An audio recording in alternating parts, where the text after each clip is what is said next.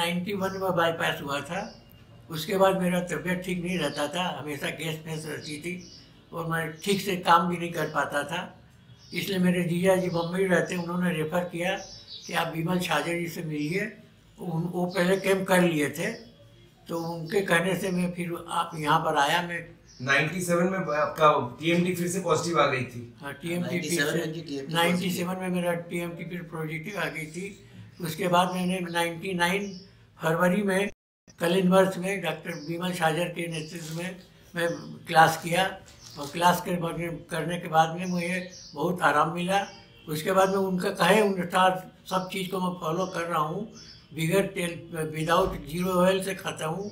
और morning walk भी करता हूँ योगा भी करता हूँ। उससे मुझे बहुत आराम मिला है। आज मेरा बीस साल हो गया है। उनकी देख रेख में मैं काम कर रहा हूँ। 75 इयर्स और मेरा भी- बिज़नेस में वो- फुल इन्वॉल्वड है। मैं बिज़नेस में भी इन्वॉल्व हूँ और रोज़ काम में जाता हूँ और मुझे बीस साल हो गया अभी मेरी उम्र सेवेंटी फाइव है।